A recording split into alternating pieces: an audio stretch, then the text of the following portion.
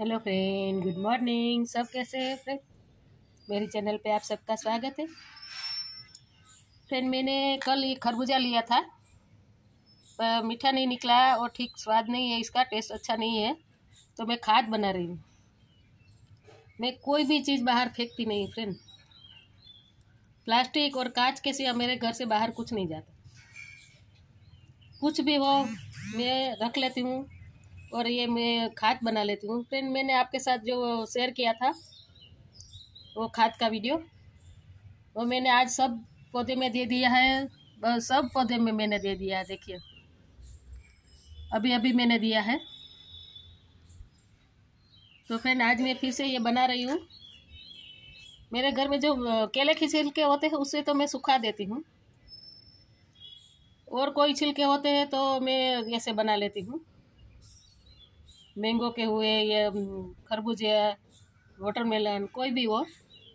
Indoor plant को मैंने नहीं दिया इंडोर प्लांट को मैं नहीं देती फ्रेंड दे सकते हैं, ऐसा कुछ नहीं, पर क्योंकि ये छाँव में रहता है ना तो इसमें कीड़े लग जाते हैं तो मैं ये नहीं है इसमें नहीं देती। पर मैं एक किलो का है ये बना रही हूँ खाद, और एक ये डिब्बा है पानी का। कलर का जो डिब्बा आता है, वो मैं यूज़ करती हूँ। वो बड़ा वाला था, उसमें ज़्यादा था तो मैंने उसमें डाल दिया था। दो ढाई किलो जितना था, जो किचन वेस्ट था। अब उसको मैंने पानी दे दिया फ्रेंड उस, उसे मैं जो गल गया, सब्ज़ियाँ सब गल गई थी, उसे मैंने छान कर रख दिया। थोड़ा हो जाएगा तो मैं खाद में डाल दूँगी। जो मेरा खाद किचन वेस्ट का खाद बन रहा है, उसमें डाल दूँगी। ये भी ये दो दिन रखूँगी। ये सब इसके जो है, ये सब इसमें पानी में आ जाएगा न्यूट्रिशन मिल जाएगा, पानी में आ जाएगा, फिर छान लूँगी, फिर पौधों का दे दूँगी। और ये कचरा निकलेगा, वो मैं किचन वेस्ट का खाद बनाती हूँ, इसमें डाल देती हूँ। तो खाद भी जल्दी बन जाता है। दो काम हो जाता है फ्रेंड ये बाहर, तीन काम होता है। एक बाहर फेंकते हैं तो गंदगी नहीं होती और दूसरा हमारे पौधों को अच्छे से न्यूट्रिशन मिल जाता है और तीसरा हमारा खाद भी फिर से बन जाता है। तो फ्रेंड ये इसमें मैं पानी में डाल रही हूँ। देखिए, एक बकेट लिया है मैंने। और ये बन जाएगा तो ऐसा मैं बीस लीटर पानी ले लूँगी। बीस लीटर पानी में ये मैं डाल दूँगी। तो फ्रेंड मैं सब इसमें डाल देती हूँ। उसके जो बीज होते हैं, वो भी डाल देती हूँ। फिर छानना तो है हमें।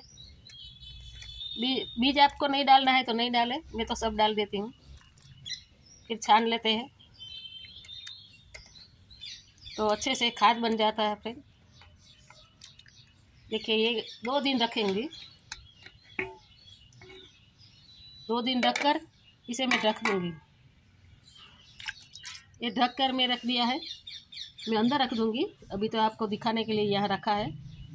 छाँव में रख दूँगी। जैसे यहाँ छाँव है पर धूप बहुत आती है दोपहर की। तो मैंने ये बना लिया है, फ्रेंड। ये बन जाएगा। दो दिन रखूँगी। आज डाला है। हिलाऊँगी रोज़।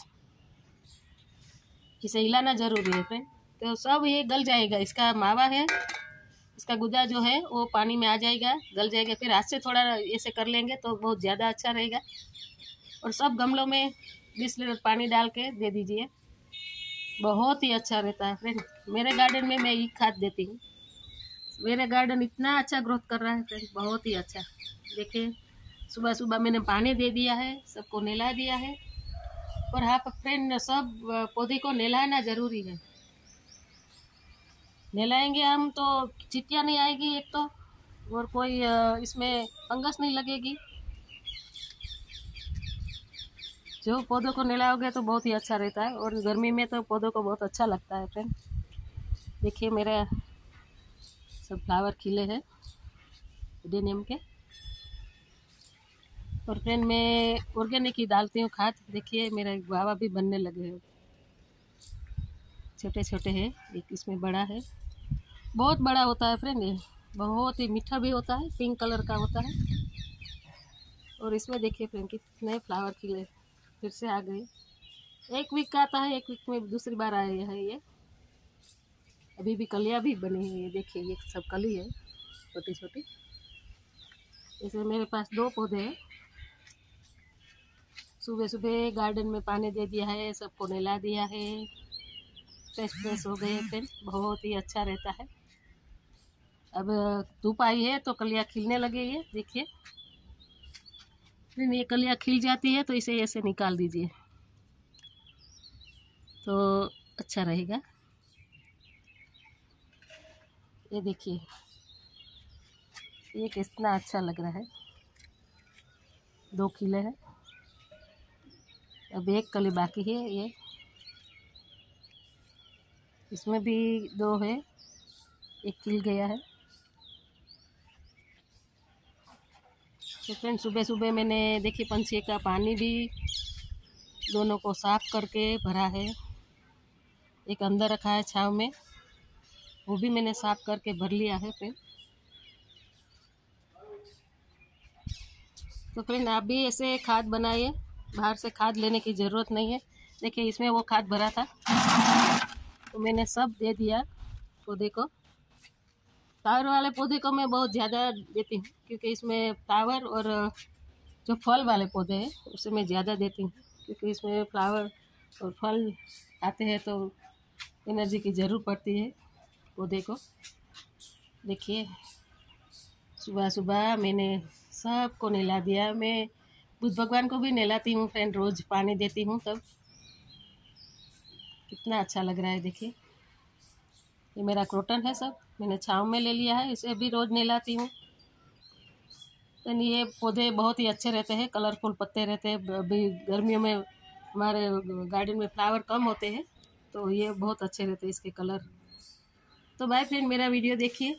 सब्सक्राइब कीजिए शेयर कीजिए अच्छा लगे तो बाय